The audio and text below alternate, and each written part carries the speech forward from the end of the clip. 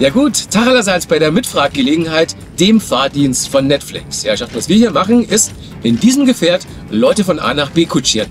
Aber natürlich nicht irgendwelche Leute, sondern solche, die hauptberuflich mit Serien und Filmen zu tun haben. Und während wir sie rumfahren, plaudere ich mit ihnen. Das ist das Konzept.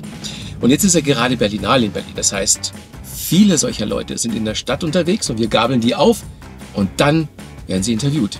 Die nächsten Leute, die hier zusteigen, sind sehr interessante Menschen, denn sie sind die Schöpfer und Macher der Netflix-Serie Freud.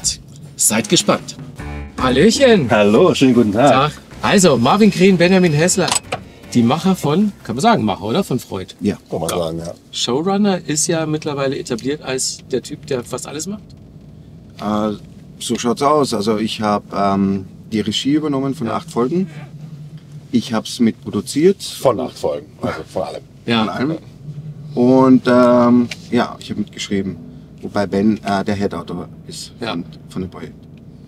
Naja, aber schon, das klingt, das ist zu wenig. Also er macht alles, er trifft alle Entscheidungen, er kümmert sich um alles, äh, was, äh, also das gehört mehr dazu als nur Regie und Drehbuchschreiben. Okay, und jetzt also Berlinale für euch, ihr seht noch ganz fit aus. Findest ja, du? Ja. Danke fürs Kompliment. Dankeschön. Also hat diese Veranstaltung noch keine größeren Spuren hinterlassen bei euch? Keine, die jetzt äh, nicht wegzuschminken gewesen wären. okay. nee, die Aufregung ist irre groß und vor allem die Erleichterung, dass äh, wir ähm, oder dass ich wieder hier mit einem Projekt laufen darf. Ähm, war vor zwei Jahren was für Blogs. Genau, kennst du schon. Und ähm, das war halt eine unfassbare, großartige Sache überhaupt, dass eine Serie auf so einem renommierten Festival läuft. Ja. Und dementsprechend war halt der, der Erfolgsdruck groß für mich, noch einmal hierher zu kommen. Wann habt ihr euch äh, arbeitsmäßig zusammengefunden? Bei welchem Projekt? In der Filmhochschule. Wir kennen uns ja aus der Filmhochschule. Ja. Und dann direkt dann auch was zusammen umgesetzt da? Mhm. Über Unwege äh, sind wir dann zusammengekommen und dann haben wir uns verliebt, so und haben einen sehr erfolgreichen äh, Abschlussfilm gemacht, Schautag, und seit, seitdem nicht mehr zu trennen. Und das, das Schöne war damals, äh, wie wir in Saarbrücken waren, kam eine coole Redakteurin auf uns zu und hat gesagt, so, ich bin eine Redakteurin vom kleinen Fernsehspiel, Katharina Dufner, und ich habe da so ein kleines Budget von 200.000 Euro. Habt ihr da eine Idee, was ihr machen wollt? Und er sagt so, ja klar, ein Zombiefilm in Berlin. Und, und ich so, okay, darüber können wir nachdenken. Und das war halt einfach so unsere, unser coolster Start in, ins Business dass ja, wir mit so einer ja. mit kleiner verrückten Produktion Hamburg war das. Hamburg, ne? genau. Äh, so eine Art Fenster zum Hof, Horrorfilm, Zombiefilm in Berlin machen. Aber Freud ist natürlich einer der bekanntesten, berühmtesten Österreicher überhaupt auf der ganzen Welt. Das heißt, ähm, wahrscheinlich ist man auch auf dem ganzen Erdball total gespannt auf, was da jetzt kommt. Also ich würde sogar so weit gehen und sagen, Freud ist einer der bekanntesten Menschen überhaupt ja. auf der Welt. Ich, also des 20. Jahrhunderts zumindest. Ja. Und ähm, ja, ich, wir, wir hoffen sehr, dass, dass daraus, sich daraus auch einfach eine, äh, eine Aufregung und eine Gespanntheit auf, auf unsere Serie ergibt. Bemerkenswert ist auch die Wahl des Hauptdarstellers. Also der, der Mann, der Freud spielt, ist äh, Robert Finster, also ein Mann, den man selbst in Österreich noch nicht so wirklich auf dem Zettel hatte, oder?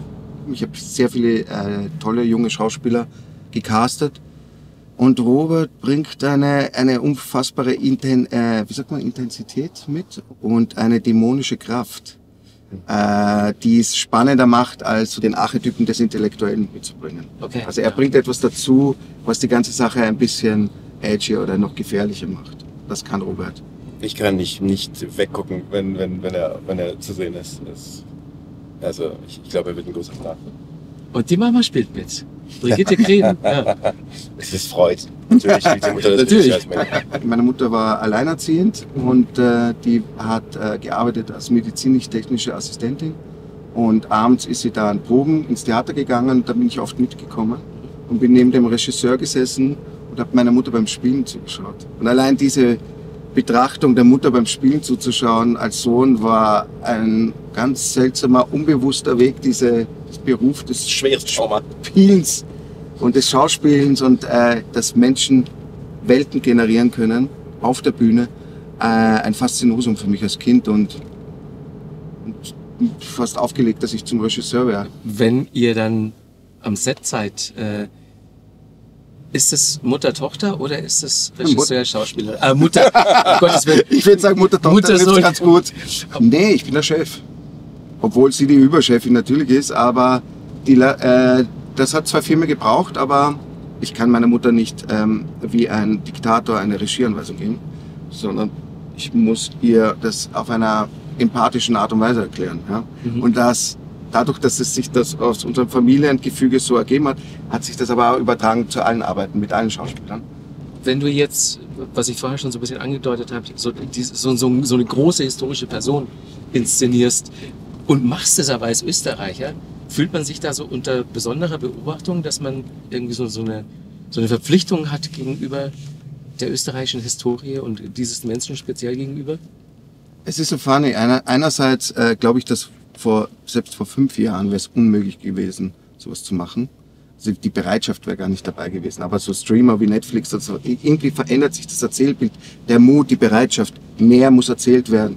Und äh, mutiger muss erzählt werden, darf erzählt werden, weil die Nachfrage da ist. Und äh, aber andererseits, natürlich, Sigmund Freud hat uns alle so stark geprägt, unsere gesamten epochenprägender Typ einfach. Und ihn einfach zurückzuführen in eine, zurückzubringen in eine Serie ist reizvoll und challenging. Und ich glaube, darum geht's ja auch für uns ähm, Filmemacher und Geschichtenschreiber, dass Sachen einfach äh, herausfordernd sein müssen. Und wir haben uns ihm einerseits halt mit sehr viel Respekt genähert, wir haben ihn studiert, wir haben versucht zu verstehen, aber einfach dann am Ende sehr respektlos behandelt, was man ja auch dann machen muss, um Herr der Geschichte zu werden. Ja. Vorher haben wir schon kurz über Showrunner geredet.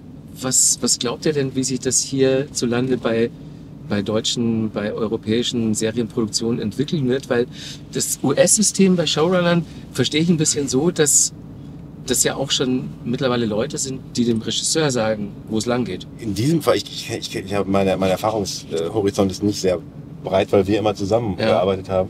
Also in dem Fall ist es auf jeden Fall so, dass er als Regisseur weiterhin sozusagen die Autorität dieser Regisseursrolle, dieser althergebrachten Regisseursrolle und dieser äh, Regisseursfigur hat und sozusagen vereint mit diesem Showrunner-Element. In Amerika war es ja eigentlich immer schon so, dass der letztlich äh, kreative Entscheider war immer der, der, der, der Writer oder Ja. der, der, der, der Showrunner. Genau. Und die Regisseure äh, kennt man teilweise namentlich gar nicht oder die sind mehr, ver- fassen sich auch im besten Sinne als ausführende, au- als ausführende Kapazitäten äh, auf.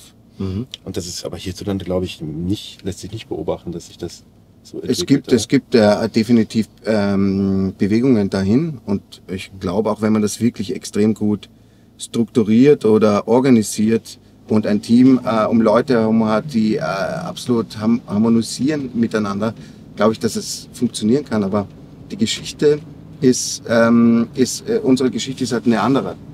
Ja. Ähm, nichtsdestotrotz glaube ich, dass alles in Bewegung gerade ist. Das ist auf jeden Fall. Ich finde es sehr, sehr spannend. Also ich wünschte, ich könnte sagen, wie sich die Serienszenerie in ein, zwei, drei Jahren darstellt. Ich könnte nicht mehr nächstes Jahr irgendwie Nee, sagen. absolut nicht, ja. Ich hoffe einfach, dass die, die, die Bereitschaft und vor allem halt die Stoffe uns nicht ausgehen, weil äh, ich glaube, das Publikum ist gnadenlos. Wenn die einfach irgendwann mal keinen Bock haben auf Serien schauen, dann, äh, dann äh, was machen wir dann? Ja, ich war wieder Filme. Gastro Gastronomie in Wien. irgendwie, Keine Ahnung. Oh ja, das wär's Also, ja. Ich, äh, na, das, das Publikum wird unglaublich sophisticated. Mit Ja. jeder, mit, äh, ich meine, wie viele, wie viele Shows haben jedes Jahr Premiere? Das sind äh, Tausende, oder? Ich, ich, ich, ich, ich kenne, ich kenne keine genau. Es wird mehr Serien produziert als Filme. Ja, natürlich, Ja. deutlich. Ja. Und du, du merkst es schon wirklich nach wenigen Minuten sozusagen sind die ersten Kommentare unter so einem Trailer, wenn der auf YouTube erscheint. Und die sind hoch, äh, also kritisch im, im, im wirklich gu guten Sinne, ana analytisch kritisch im guten Sinne. Das stimmt. Und ähm, das, der, die, die Ansprüche steigen einfach, steigen einfach wahnwitzig in die Höhe. Wo bringen wir euch eigentlich jetzt hin? Wir haben im Hotel haben wir euch abgeholt und jetzt, Jetzt gehen wir was ist das in, für ein Termin? äh, äh, nach Hause zu äh, Frau, Kind und Schwiegermutter. Da will ich euch gar nicht mal allzu lange aufhalten. Ich habe noch zwei Sachen, die ich äh, alle Leute frage, die hier mitfahren. Lieblingsserie für alle Zeiten? Sopranos. Star Trek The Next Generation. Und äh, aktuelle äh, Favoriten, Serienempfehlungen für unsere Zuschauer? Äh, es ist keine Serie, es ist ein Film, Uncut Gems. Keine originelle Antwort von mir, Fleabag. Wir haben eine Rubrik, die heißt äh, nächste Frage in 54321. Das, das kriegt jetzt jeder von euch äh, abwechselnd äh, jeweils fünf Fragen.